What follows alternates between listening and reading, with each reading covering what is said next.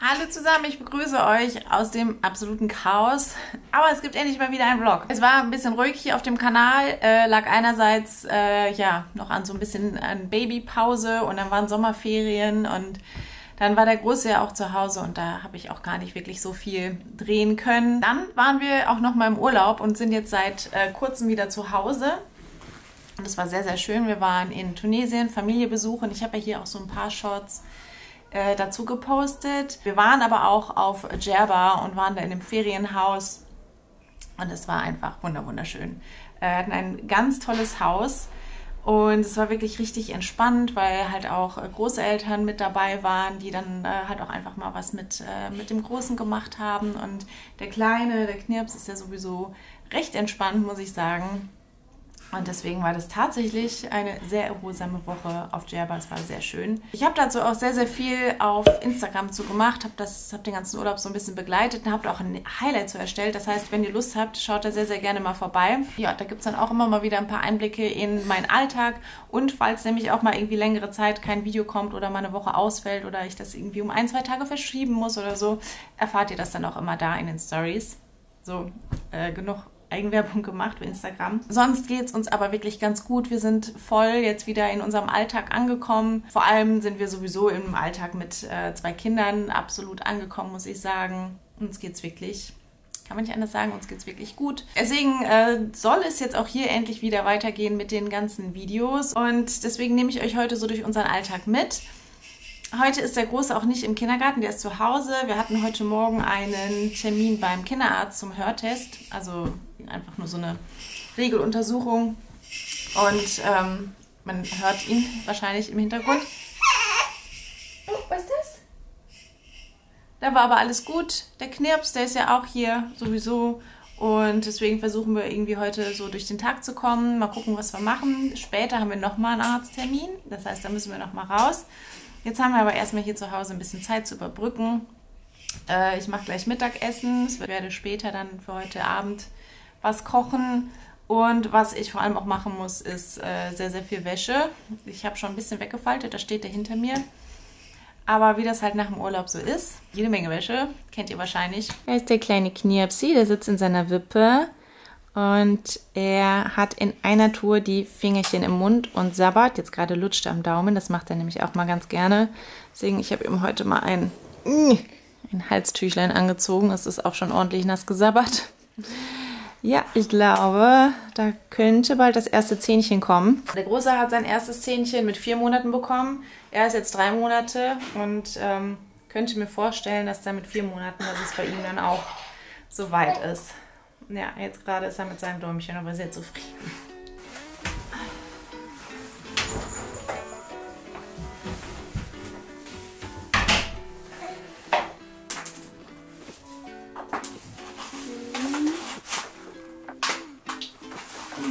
Ich mache jetzt die erste Maschine für den Tag an. Äh, ich verwende das Waschmittel von Everdrop. Falls euch Everdrop nichts sagt, bei Everdrop bekommt ihr alles für den Haushalt. Putzmittel, Spülmittel, Spülmaschinentabs, Waschmittel und was Everdrop so besonders macht, ist, dass ihr die Putzmittel beispielsweise selber anmischt. Ihr bekommt eine Glasflasche und dann habt ihr bei Everdrop nämlich äh, Tabs oder auch ein Pulver und das wird einfach in Wasser aufgelöst. Das heißt, mit den Produkten von Everdrop habt ihr weniger Plastik, weil ihr diese Glasflaschen immer wieder auffüllen könnt. Das Ganze ist somit eine nachhaltigere Alternative für den Haushalt, finde ich super. Ich bin sehr begeistert von den Putzmitteln. Ich habe schon einige durchprobiert. Ich habe jetzt ganz neu den Universalreiniger zu Hause den muss ich noch testen. Aber ich bin mir sicher, dass er mir genauso gut gefallen würde wie die anderen Everdrop-Produkte, die ich bisher getestet habe. Das Waschmittel mag ich auch sehr gerne. Ich liebe den Geruch. Und es gibt diese schönen Aufbewahrungsboxen, die finde ich auch äußerlich einiges hermachen. Und falls ihr das Waschmittel von Everdrop schon kennt, ist euch vielleicht aufgefallen, dass ich hier noch die alten Packungen habe. Äh, es wurde vor kurzem das Waschmittel ein bisschen geändert, auch die Verpackung und ihr bekommt aber noch das alte äh, für kurze Zeit zu kaufen im Everdrop Warehouse. Da bekommt ihr manche Produkte sehr, sehr stark reduziert, um bis zu 40%. Da kommt ihr aber nur mit meinem Link hin, den findet ihr in der Infobox. Also schaut da auf jeden Fall vorbei. Außerdem gibt es auch noch einen 3 für 2 Code. Das heißt, wenn ihr drei Artikel kauft, zahlt ihr nur zwei Stück, deswegen schaut auf jeden Fall vorbei. Die Codes blende ich euch hier ein. Ich wünsche euch ganz viel Spaß beim Shoppen der geretteten Produkte und der 3 für 2 Code, der gilt sogar on top noch da drauf. Deswegen lohnt es sich da auf jeden Fall vorbeizuschauen. Ich wünsche euch viel Spaß. Mama, warum kommt da ein Dampf? Das ist Wasserdampf, weil das Wasser kocht. Mama, Mama, ich, ich bin alte Oma. Du bist eine alte Oma. Wollte aber ohne Käse. Jetzt ohne Käse. Oh, okay. Da. Mittagessen ist fertig. Das ist mein Teller, der sieht ein bisschen trostloser aus, aber lecker ist es trotzdem. Ja. Ja. Und, und meiner ist so zum Versorgen und der, und der ist ganz lecker und ich, ich bin ein, ein bisschen krank und mit dem Essen werde ich sehr schnell wieder gesund. Richtig. Genau. Und, und der Kleine schläft jetzt auch. Genau. Grad. Und warum hast du, warum hast du eine Winterjacke und eine Matschhose an? Ähm, damit ich auch schnell wieder gesund werde.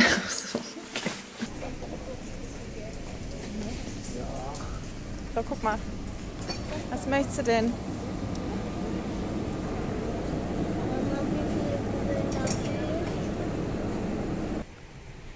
Musst du nur aufpassen, da ist ein Fahrradweg. Weißt du. Ah, okay.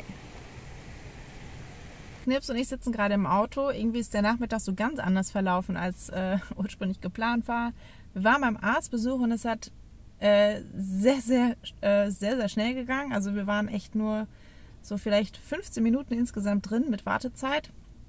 Was jetzt für so einen Orthopäden, wo wir nämlich waren, äh, sehr selten ist, muss ich sagen. Wir haben da auch super schnell einen Termin gekriegt. Also ja, und ich war halt auch echt sehr zufrieden, muss ich sagen. Ein sehr, sehr netter Arzt. Und irgendwie haben wir jetzt dann noch Dinge erledigt und jetzt gerade stehen wir auf dem Lidl-Parkplatz. Wir haben nämlich beide keine Lust auf das, was eigentlich fürs Abendessen geplant war. Und also der Junior hat sich Crepe zum Abendessen gewünscht, deswegen soll er die auch kriegen. Aber wir haben keine Eier mehr, das heißt, wir müssen Eier kaufen. Und dann ähm, haben mein Mann und ich gesagt, okay, wenn wir jetzt sowieso schon im äh, Deal sind und Eier kaufen müssen, dann lass uns doch noch das und das und das kaufen, dann können wir das und das zum Abendessen machen. Äh, ja, jetzt stehe ich hier, der Knirps schläft, der schläft schon den ganzen Nachmittag. Ich habe den, bei den beim Arztbesuch jetzt gerade in der Trage gehabt. Und das klappt auch eigentlich immer echt wunderbar mit ihm, muss ich sagen. Und äh, der ist nicht einmal wach geworden jetzt. Also es ist jetzt auch schon fast halb sechs. Jetzt regt er sich gerade so ein bisschen. Es ist halb sechs und der schläft seit Wann sind wir los? Wir hatten um drei den Termin. Wir sind um halb drei los und seitdem schläft er.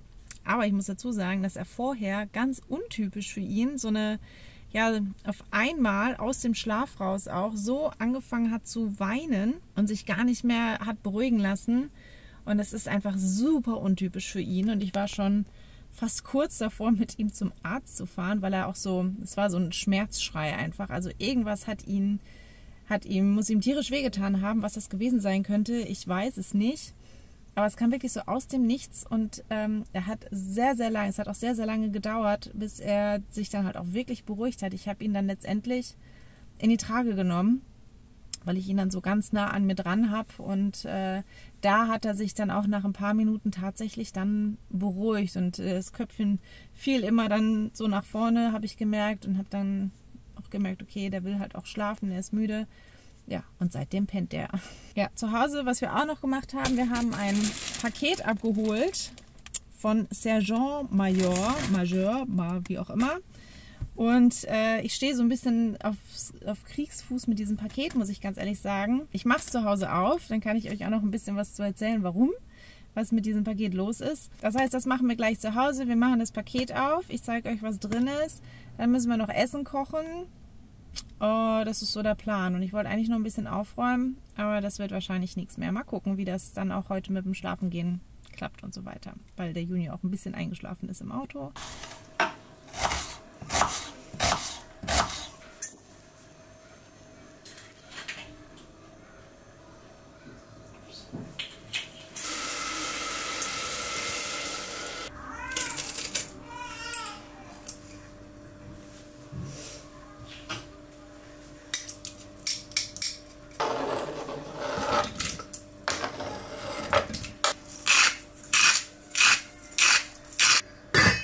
Es ist später am Abend. Die Kinder schlafen Gott sei Dank. Es ist jetzt 10 vor 9 und wir haben auch gerade erst gegessen.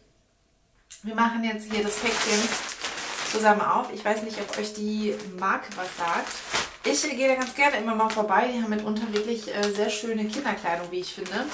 Und wir haben auch so ein paar schöne Sachen zur Geburt geschenkt bekommen. Und ich habe eine E-Mail bekommen, dass äh, viele der Kindersachen 50% reduziert sind und vor allem auch Herbst-Wintermode. Und da habe ich gedacht, perfekt. Es waren nämlich auch Winterjacken dabei. Der Junior braucht nämlich ganz dringend eine neue Winterjacke. Und ich habe auch zwei gefunden, die uns gut gefallen haben. Und ich habe ähm, beide bestellt und in den Warenkorb gelegt mit dem Gedanken halt, okay, die, die uns halt besser gefällt, die behalten wir, die andere geht zurück und habe halt dann noch so ein paar andere Sachen damit dazu bestellt. Ein paar Pullis und einen Schlafanzug und noch was für den Knirps, was Kleines. Schon kurz nach der Bestellung kam dann eine E-Mail, dass ein Artikel storniert wurde. Wahrscheinlich, weil er doch nicht so oft verfügbar war, wie er dann bestellt wurde. War ich sehr traurig drüber, denn das war ein sehr, sehr schöner Pullover. Aber gut, dachte ich, machst du nichts, passiert. Dann hat es erstmal mehrere Tage gedauert, bis ich überhaupt da irgendwie was von gehört habe, von dieser Bestellung wieder. Und dann, ich glaube, nach fünf oder sechs Tagen kamen dann nochmal zwei E-Mails, dass im Prinzip fast alle Artikel meiner Bestellung storniert wurden. Inklusive der Jacken, weswegen ich überhaupt bestellt habe und da habe ich mich sehr drüber geärgert. Das fand ich echt sehr, sehr ärgerlich. Das, äh, weiß ich nicht, ist dann wahrscheinlich beim Packen des Pakets aufgefallen, dass diese Artikel nicht mehr vorhanden sind. Und das fand ich einfach echt doof, weil wegen der Jacken habe ich ja überhaupt erst bestellt. Heute kam das äh, Paket, äh, verschickt wurde mit UPS. Der hat so getan, als hätte er hier geklingelt, hat aber nicht, denn ich war zu der Zeit auf jeden Fall 100% zu Hause, als er angeblich hier gewesen war.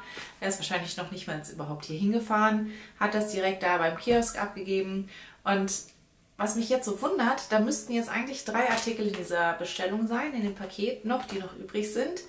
Aber in den E-Mail, also das steht halt auch online in meiner Bestellung drin, auf der Webseite, aber in der E-Mail ist immer nur von zwei Artikeln die Rede, die in diesem Paket drin sind. Ähm, ja, das ist jetzt hier große Überraschungsbox, äh, ob da jetzt drei Artikel drin sind oder nur zwei. Wir schauen mal nach. Ähm, Ah nee, es sind alle drei Sachen, sehe ich gerade. Das ist schon mal ganz gut. Fragliche Artikel, der, ähm, wo nicht sicher war, ob der mit drin ist oder nicht. Das ist nämlich ein Schlafanzug für den Großen jetzt. Oh, der ist richtig dick. Der ist wie so ein, wie ein Sweatshirt fast schon. Oh, sogar, oh, der ist aber schön. Das ist das Oberteil. Machen wir das Schild nach hinten. Und hier, also wirklich sehr schön, hat so ein Dino-Vulkan-Motiv. Beim Vulkan ist das hier auch noch aufgesteckt. Also ich muss sagen, die Sachen qualitativ sind die richtig toll. Dieser Pyjama hätte jetzt so regulär 23,99 gekostet, steht hier. Und das ist halt dann die Hose dazu. Die hat auch hier so ein Band. Ja, den finde ich super. Den finde ich richtig schön. Perfekt für den Herbst und den Winter. Und dann war jetzt noch ein Pulli übrig, den ich für ihn bestellt habe. Der hätte eigentlich 26,99 gekostet.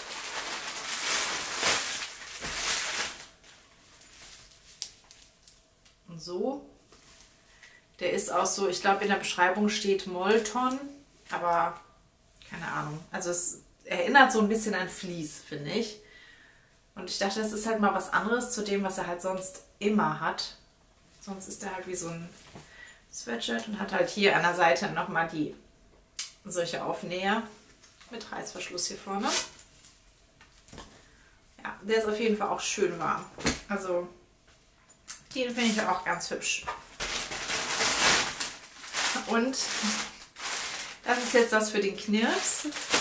Das hätte eigentlich 27,99 gekostet, hätte ich für den Preis wahrscheinlich niemals gekauft. Das ist nämlich ein Halloween-Set. Gottes Willen. Aus Samt. Okay, erst einmal, es ist jetzt noch aneinander. Mal, guckt euch das mal an. so süß. Eine Mütze, die halt aussieht wie so ein Kürbis. Wie ein lachender Kürbis. Oh mein Gott, das muss ich hier morgen mal aufsetzen. Das sieht bestimmt so witzig aus, wenn er die anhat. Und ähm, ja, das andere dazu gehört dann halt ein Strampler. Wie gesagt, der ist jetzt aus dunkelblauem Samt mit äh, Füßen. Und das ist halt so ein Halloween-Motiv. Ich hoffe, man kann es einigermaßen erkennen in der Kamera. Aber das fand ich ganz süß. Und so für den Preis, wo es dann da angeboten war, habe ich gedacht, ach komm, nimm sie das mal mit. Ja, und das zieht ja dann auf jeden Fall Halloween an und ein paar Mal mehr hoffentlich dann auch noch. Ja, das finde ich ganz süß. Und diese drei Teile jetzt insgesamt, was noch übrig war, das waren jetzt 40 Euro, die ich dafür bezahlt habe. Und ähm, kann man nicht sagen, wie ich finde. Weil wie gesagt, Quali die Qualität von, den, ähm, von der Kleidung ist wirklich äh, nicht schlecht. Die ist wirklich ganz gut. so, das war jetzt noch das Letzte, was ich äh, heute Abend machen wollte. Sonst passiert hier nichts mehr. Deswegen beende ich jetzt auch diesen Vlog. Ja, wie immer freue ich mich sehr über Daumen nach oben und äh, Kommentare. Und ich habe es schon mal gesagt, wenn auf so einem Kanal eine gewisse Zeit lang Pause war, tut es dem sehr, sehr gut, wenn ja, viele Daumen nach oben kommen und viele Kommentare. Deswegen freue ich mich sehr darüber, wenn ihr das so ein bisschen beherzigt. Und dann sehen wir uns nächste Woche zum nächsten Video wieder. Bis dann. Tschüss.